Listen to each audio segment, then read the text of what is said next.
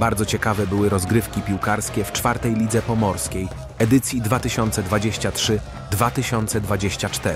Ostateczna rywalizacja o trzecioligową przepustkę trzymała mocno w napięciu sympatyków futbolu w Słupsku i Gdańsku. Przed najważniejszymi rozstrzygnięciami sezonu Gryf miał dwa punkty przewagi nad Jaguarem i posiadał korzystniejszy bilans bezpośrednich spotkań z Gdańszczanami, czyli dwa zwycięstwa 5 do 2 w Gdańsku i 3 do 0 w Słupsku.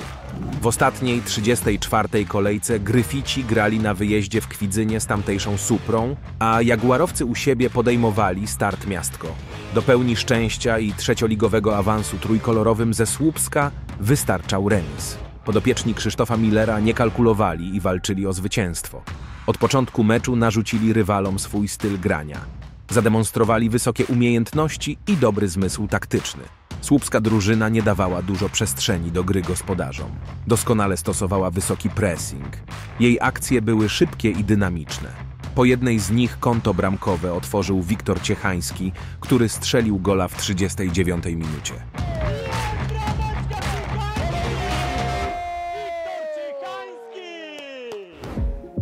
Tak więc po ośmiu sezonach spędzonych na czwartoligowym froncie, piłkarze Gryfa powrócili do trzeciej ligi, w której ostatni raz grali w sezonie 2015-2016. Gryfici zaprezentowali stabilną i wysoką formę, o czym świadczą doskonałe rezultaty. Zakończyli rozgrywki w fotelu lidera i zgromadzili dorobek 84 punktów. W 34 spotkaniach zanotowali 27 zwycięstw, 3 remisy i 4 porażki. Na swoim stadionie nie przegrali żadnego meczu, oddając tylko jeden punkt w 17 występach. Zawodnicy ze Słupska strzelili 92 gole, a po stronie strat mieli 35 bramek. Data 22 czerwca 2024 roku bez wątpienia zapisała się na kartach historii klubu i miasta. Czapki z głów przed piłkarzami Gryfa, gdyż trzecioligowy cel udało się zrealizować w kapitalny sposób pod wodzą młodego trenera Krzysztofa Millera i prezesa Mirosława Lewandowskiego. Marzenia się spełniają. Kamień serca spadł, gry w trzeciej lidze. Tak, no myślę, że ten 10 miesięcy, a tak naprawdę te ostatnie 3 tygodnie w naszych sercach e, były bardzo głęboko i ciężko było zasnąć. Jesteśmy przeszczęśliwi, że udało nam się zrobić ten awans dla tego miasta. E, myślę, że zasłużyliśmy na to w pełni i jestem bardzo z tego powodu szczęśliwy i dumny z chłopaków. Wierzyliśmy od początku, że ten awans zrobimy, będziemy walczyć, zrobimy wszystko, co w naszej mocy, udało się. Jeszcze raz podkreślę, zasłużyliśmy na ten awans, jesteśmy mistrzami. Spadł kamień serca, że marzenie zostało zrealizowane? Tak, bo mm, to, co się obiecuje, to powinno się spełnić. No i obiecaliśmy i dotrzymaliśmy słowa. Czyli to jest ważne, żeby to, co się mówi, nie rzucać słów na wiatr, a być konsekwentnym w tym i dążąc systematycznie, regularnie, delikatnie, krok po kroku do wyznaczonego celu. I już można powiedzieć, że dzisiaj ten cel o godzinie 17.15 został osiągnięty. Tak szczerze, czy podczas rundy wiosennej były chwile zwątpienia? Zawsze są chwile zwątpienia. No wiadomo, że my deklarowaliśmy, że będziemy walczyć o awans. No nie było powiedziane, że ten awans y, osiągniemy. E, no i budując skład, y, grając w lidze, dużo niespodzianek było.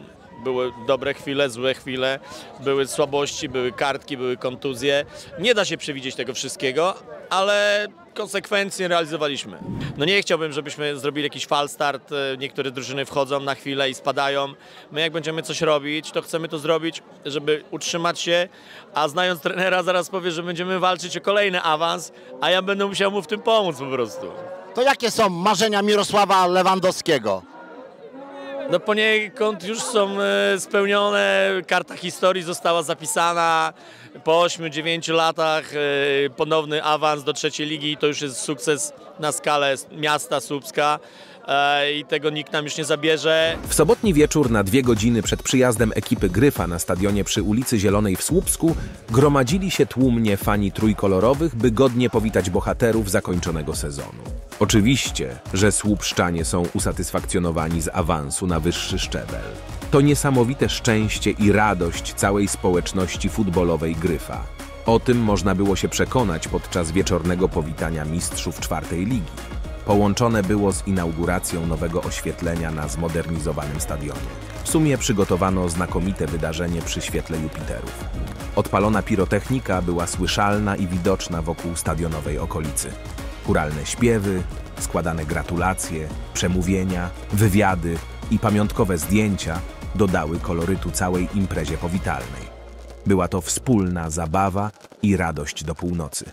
Jak pani prezydent Krystyna Danilecka-Wojewódzka odbiera ten sukces i czy w ogóle jest przygotowana na kolejne wyzwanie już w trzecioligowym gronie? Dzisiaj tylko i wyłącznie radość, radość olbrzymia, radość tym większa, że się mnoży, ponieważ wszyscy się cieszymy, a radość wtedy jest wielka, kiedy mnożymy ją, kiedy dzielimy ją z innymi, czy dzielimy z kibicami bardzo wiernymi, którzy przeszło 8 lat czekali na ten awans i głęboko wierzyli, że on kiedyś nastąpi. To jest sukces dedykowany nade wszystko kibicom piłkarskim, ale to także radość dlatego, że warto było zaufać dwójce kapitalnych mm, facetów, prezesowi Mirkowi Lewandowskiemu i trenerowi Krzysztofowi Müllerowi, za to zaufać w to, że będą naprawdę prowadzić drużynę tak, żeby awansować do trzeciej ligi. Rok temu o tej porze walczyliśmy o zachowanie, o istnienie w czwartej lidze. Nieprawdopodobne, co się zdarzyło w ciągu roku. Nie tylko wychodzimy, awansujemy, ale myślę, że będziemy walczyli o drugą ligę. Kiedy pan redaktor pyta,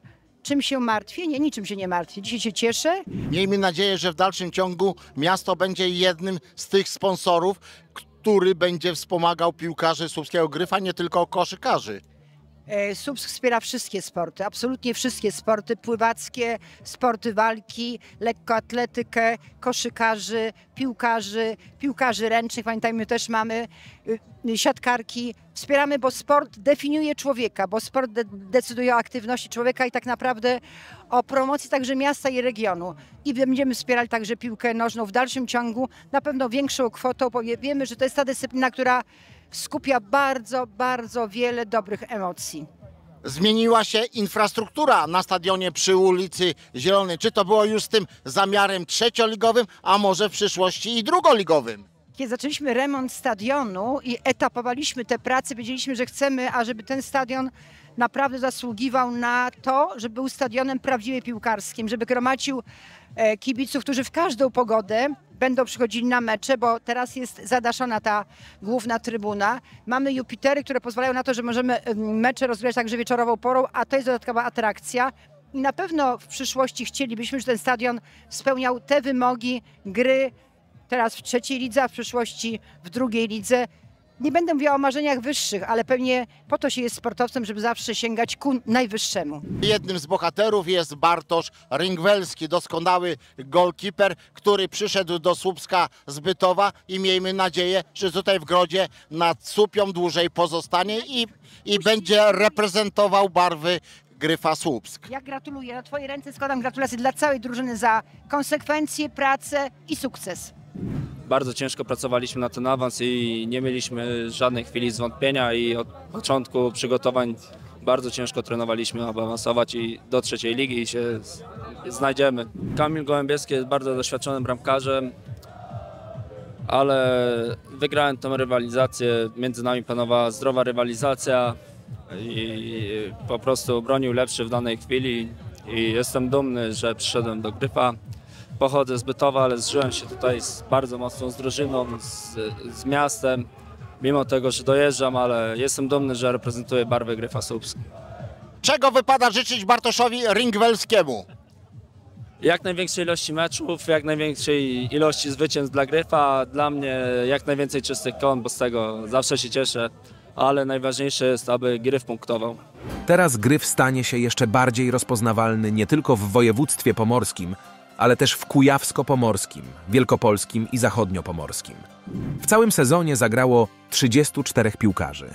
Byli to bramkarze Bartosz Ryngwelski, Kamil Gołębiewski, Filip Bielańczuk, obrońcy Josep Amoach, Dominik Butowski, Jarosław Felisiak, Kacper Gołojuch, Jakub Jakubowski, Jakub Mędlewski, Wojciech Pawlina, Paweł Szmytkiewicz, Dawid Więckowski, Michał Wiśniewski, Pomocnicy Wiktor Ciechański, Nikodem Ciechański, Kacper Dawid, Patryk Dąbrowski, Aleks Hendryk, Kacper Jędruch, Jakub Kalinowski, Jakub Kazior, Hubert Klamrowski, Kacper Książkiewicz, Andrzej Łyszyk, Szymon Mytych, Daniel Piechowski, Adam Świdroń, Karol Świdziński, Oskar Zieliński.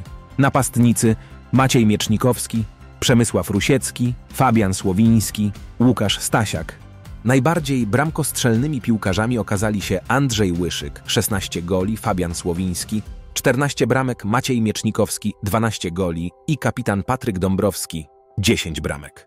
Najlepsze mecze Gryf rozegrał jesienią w Gdańsku z Jaguarem, wiosną w Słupsku z Jaguarem i z Bałtykiem Gdynia. Poza wcześniej wymienionymi trenerem i prezesem na sukces zapracowały także inne osoby, które były w sztabie drużyny. Do nich należy zaliczyć trenera przygotowania fizycznego Marcina Plutę, szkoleniowca bramkarzy Mateusza Kowalczyka, kierownika zespołu Aleksandra Trawińskiego, kitmana Roberta Ruteckiego, fizjoterapeutę Pawła Szmytkiewicza. Za media społecznościowe odpowiadali Mateusz Szłapka i Robert Skumiał. Podziękowania należą się paniom, które pomagały przy organizacji meczów w Słupsku. Marzenie Zamaro, Magdalenie Sawickiej i Kindze Bielawskiej. Głównym sponsorem drużyny była Energa.